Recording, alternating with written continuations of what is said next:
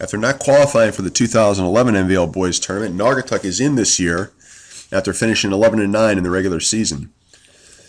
Naugatuck beat Watertown by 12 points in mid-January, which was its best win of the season, and finished just 2 and 8 against NVL tournament teams, but faces a tough run because they have to play in the Copper Division, and that means they face Crosby, Wilby, and Holy Cross two times each.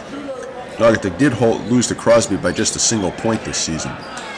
They had a tough finish to the season in their last six games. They were three and three, but those three losses again were to Holy Cross, Crosby, and Wilby.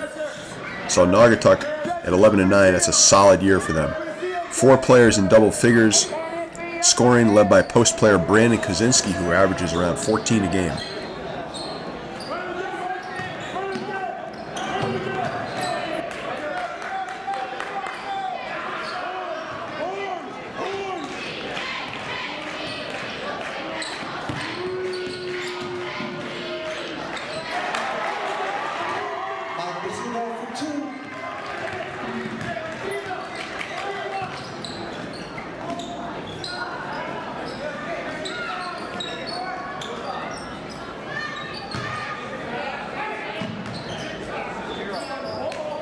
35.